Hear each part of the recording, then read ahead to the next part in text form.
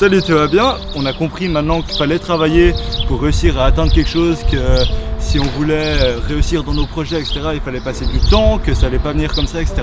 Ce que je trouve bien avec ça, c'est que c'est quelque chose qui a été compris et un peu implémenté dans notre société. Le truc, c'est que je voulais vraiment plutôt faire une vidéo qui, du coup, qui allait valoriser le travail plutôt que le talent, parce qu'il y a des gens qui ont des facilités un peu à la naissance directement, qui, comprennent les choses plus vite. Mais le problème avec ces personnes-là, c'est qu'elles sont très tentées du coup à ne pas travailler à procrastiner tout simplement parce qu'elles ne ressentent pas le besoin vu qu'elles ont toujours été un peu au-dessus de toutes ces personnes qui débutent, etc. Si on prend deux personnes, une qui a du talent et l'autre qui débute à zéro, qui est donc une longueur derrière, s'il travaille beaucoup, eh bien, il va rapidement dépasser son concurrent.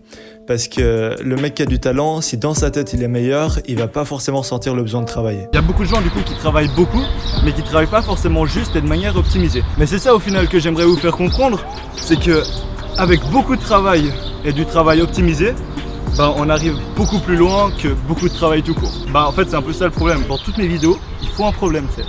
Genre le gars est méga relou, il peut pas faire une vidéo sans, problème. Du coup pour vous présenter au mieux bah, justement le, travail optimisé, je vais vous donner 2-3 exemples et 2-3 astuces dans le street workout parce que je suis accompagné d'Eric Flag. Salut Qui est derrière la caméra, du coup vous pouvez pas le voir pour le moment.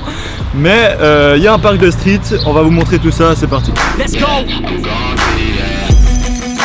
Yeah, I'm the one to get it, bruh. I swear to God, I'll get it, bruh. Hey, I ain't never giving up. Said I never give. Give them prayer hands, say what's up, America. Half of you should know me, right? Other half a replica. Shout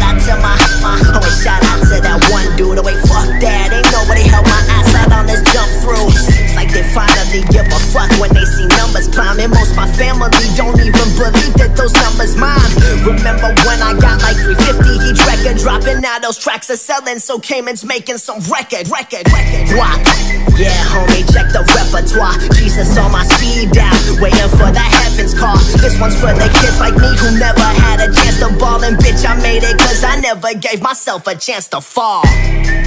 Man, it's funny how this happened though Thought I'd be a lawyer, now I'm stacking off a rapping show Guess it's in my blood to pack a venue bag and ravage ho So when you see my name, just know I Ouais les gars, bon bah du coup on se retrouve avec euh, Eric Flag à mes côtés, c'est cool, euh, on nous l'a beaucoup demandé, une petite vidéo les deux, ça fait grave plaisir. Pour ceux qui connaissent pas, je vais te laisser te présenter en quelques secondes. En quelques secondes. Salut Eric Flag, je fais des vidéos sur euh, YouTube, des vidéos de street workout, de développement personnel, de nutrition, des petites expériences sur un mois, des choses comme ça. Et, voilà, j'ai fini. C'est parfait parce que Eric il a beaucoup plus d'expérience que moi, et surtout dans les street workouts, même dans la vie tout court, il est quand même un peu plus âgé, un peu plus vieux. T'es vieux Oui, je, suis vieux. Ça fait plaisir, c'est cadeau. il, sait ce que c'est, ben, quelqu'un qui travaille de manière optimisée et quelqu'un qui vient à la salle euh, juste pour venir à la salle au final parce qu'il a pris un abonnement. Et euh, je vais te laisser un peu développer cette idée-là de ton point de vue tout simplement. Comme tu l'avais déjà mentionné juste avant, effectivement, dans la plupart des activités, je pense qu'on essaye d'accomplir euh, dans la vie de tous les jours, que ce soit sportif ou non, il y a un petit peu deux, phases, deux parties. La partie travail intelligente, on dira, la partie préparation où tu, où tu sais un petit peu ce que tu vas faire, et il y a la partie travail tout court, la partie où tu dois venir, mettre les heures, travailler parce que personne d'autre va le faire à ta place. Si tu fais que de la préparation ou que du travail pur et, peut-être abruti, mhm. tu vas potentiellement dans le mur à chaque fois. Et euh, le but, c'est réussir à, trouver le bon équilibre entre les deux, je pense. On a envie de se rassurer souvent, et pour se rassurer, ben, on va travailler. Et même si on n'a pas forcément appris des choses ou progressé, acquis des connaissances, ben, on sera un peu satisfait de nous-mêmes parce qu'on y aura passé du temps. Et c'est un peu un piège qui peut, qui peut se créer au final, parce que bah, on n'avance pas si on travaille pas de manière correcte tout simplement. C'est surtout qu'on a l'impression d'avancer et puis euh, on se retrouve six mois après, on est toujours au même endroit, on se dit mais je comprends pas, pourtant je vais à la salle trois fois par semaine mais je progresse pas. Et c'est là malheureusement euh, quelque chose qui arrive pas mal aux gens qui débutent parce qu'ils sont pas souvent assez euh, coachés ou, mhm. ou entraînés et ils savent pas, c'est pas de leur faute évidemment, mais tu te retrouves, moi pareil, hein, j'ai perdu deux ans à la salle à rien faire et pourtant j'y allais tout le temps et j'ai pas compris. J'ai pas compris, j'ai compris après. Et des fois, mais des, fois tu, dois le faire aussi pour, comprendre. Après, euh, tu peux aussi, si nous écouter, euh, ça, marche. ça, peut être une idée. Écoute, là j'ai vraiment un gros entraînement de prévu, mais si tu veux, juste après, on va se boire une bière tranquille, ouais. euh, kebab. Et c'est vraiment cette frustration qui va se créer. Et peut-être que de par cette frustration, tu vas en tirer des conclusions et, peut-être faire ce, déclic un peu qui va te dire bah vas-y maintenant faut en plus de travailler, faut que je travaille bien et de manière optimisée. Et euh, et il y a deux types de conclusions. Il y a celui qui va prendre ces conclusions-là, il y a celui qui va se dire ça marche pas, j'abandonne, Ah oui, bon, je mais fais- ça, ça, ça- ça fonctionne pas manifestement, c'est pas pour moi, ça marche avec les autres mais pas avec moi. Tout le monde sait pas que c'est plus utile de travailler d'une certaine façon, euh, notamment quand c'est un milieu qu'on connaît pas, hein, comme le, le- le sport, c'est quelque chose de très euh, Ouais. spécifique. Pour revenir un peu sur le sport, les, les personnes qui vont à la salle, euh, juste pour aller à la salle, comme on l'a dit, juste pour travailler et puis pour la conscience un peu, ils ont pas forcément, ils ressentent pas forcément le besoin de souffrir. Ils n'ont pas envie non plus. Tu vois, ils ont envie d'aller à la salle, faire deux trois exercices et tout ça, euh, pas forcément se donner à fond, juste pour se dire qu'ils sont allés à la salle. Mais au final, c'est un peu la souffrance qui les freine aussi, parce que bah c'est forcément une, euh, Un confort, un- cas, un ouais, inconfort. Mais euh, au final, c'est un peu une sorte de, de question que tu dois te poser à la fin de ton entraînement. Genre, tu te dis, bon bah vas-y là, euh, j'ai fini mon entraînement, j'ai l'impression de presque me sentir comme avant, tu vois. Ou alors, j'ai fini mon entraînement, je peux plus descendre les escaliers tellement j'ai mal aux jambes. Au final, pour progresser, t'a- t'auras besoin de te mettre dans un inconfort. Tu perds sur, euh, la ligne hein, au début, Ouais, c'est ça. c'est le principe. En fait, c'est beaucoup d'investissement pour au final euh, peu de résultats sur le court terme. Ah ouais. Et c'est pour ça que beaucoup de personnes bah, abandonnent. C'est ça le pire, hein, c'est que tu vas à la salle, tu donnes tout ce que tu as, tu rentres chez toi, le lendemain, t'es exactement pareil. Voilà. Ton corps, il a pas changé du tout. Ouais, c'est ça. Et, et se convaincre de continuer à mettre les efforts pour obtenir la gratification après, c'est Voilà. le plus dur. Le plus. Parce que on cherche plutôt la gratification instantanée. On aime bien avoir les résultats directement euh, sous nos yeux. Après, j'ai fait une vidéo là-dessus. Tu peux aller la regarder. Je l'ai vu, elle est bien. Vu que je suis avec Eric Flag qui lui est quelqu'un d'assez euh, développé physiquement et qui prend à peu près deux tiers de l'écran en ce moment par rapport à moi qui peut me mettre sur je pense une demi-ligne. C'est parfait hein, parce qu'on a un petit parc de street workout juste là derrière nous. On s'est assis là, on a vu un parc de street. Abusé. Et là tout ce qu'on vous dit c'est par rapport au street et au sport en général parce que c'est un peu nos domaines à, à- à nous deux. Mais, mais dans la vie c'est vraiment applicable dans tous les domaines également.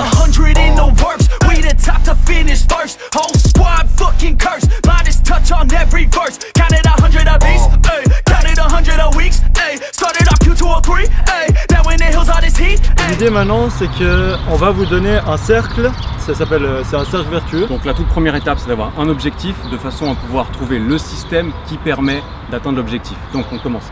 C'est quoi ton objectif? Pourquoi tu viens t'entraîner? Qu'est-ce que tu cherches à obtenir en venant ici? Alors mon objectif ce serait par exemple de gagner de la force au niveau du dos. Si tu cherches à gagner de la force dans le dos, il va falloir viser des séries avec des répétitions assez basses parce que c'est pas en faisant 50 tractions de suite que tu vas pouvoir gagner la force de pouvoir les faire à un bras par exemple.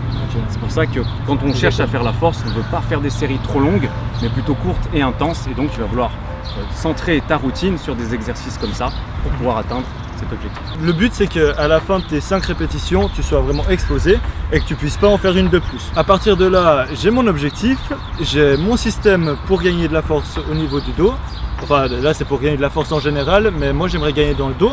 Du coup on va choisir un exercice pour vous montrer par exemple les tractions. Normalement, la phase organisation elle est plutôt- plus ou moins bonne. Plutôt correct. Et maintenant, la prochaine étape, le- la mise à l'action. Agir en fait.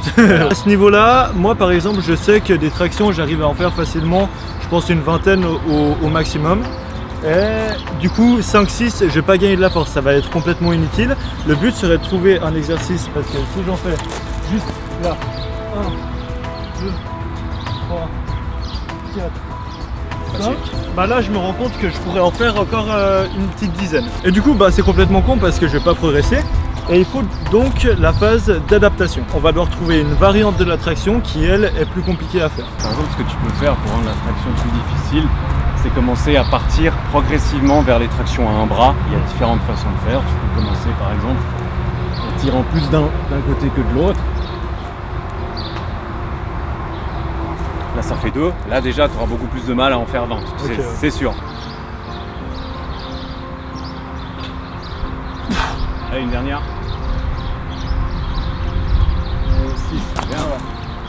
Là, on se rapproche beaucoup plus d'un exercice qui est cohérent en fonction de mes objectifs et de mon niveau. Donc c'est très bien et je peux continuer à le faire. Donc après cette phase justement d'adaptation, etc., à chaque fois que tu fais un exercice, tu as la phase d'évaluation. Donc tu évalues, vais souffler. T'évalues la difficulté de l'exercice. faut toujours se demander est-ce que ce que j'ai fait aujourd'hui est toujours cohérent avec mes objectifs Ouais. Est-ce que je dois adapter quelque chose La plupart du temps, par exemple en musculation, faut pas changer ton entraînement à chaque fois que tu viens. C'est toutes les 4 semaines, Ouais. euh, quelque chose comme ça, par exemple, que tu vas te dire Ah, ça y est, maintenant je fais 9 répétitions, faut que je change d'exercice. Et c'est à ce moment-là que tu vas rechanger ton, bah, ton système, non, mais ton exercice à l'intérieur de ton système. Et ensuite, tu recommences, tu recommences, tu recommences. L'idée, c'est vraiment d'avoir cette, euh, cette remise en question sur tout ce qu'on fait, cette sorte de, de petit côté un peu analyse. Voilà, le but c'est d'avoir un système efficace en place dans lequel, une fois qu'il est en place, tu sais qu'il fonctionne, tout ce que tu as à faire, c'est jeter les heures dedans. Ça veut dire venir faire l'entraînement. Tu n'as pas, t'as pas besoin de réfléchir quand tu viens parce que tu sais exactement ce que tu dois faire par rapport à la fois d'avant. Et tu recommences, et tu réadaptes, et Ouais. tu recommences.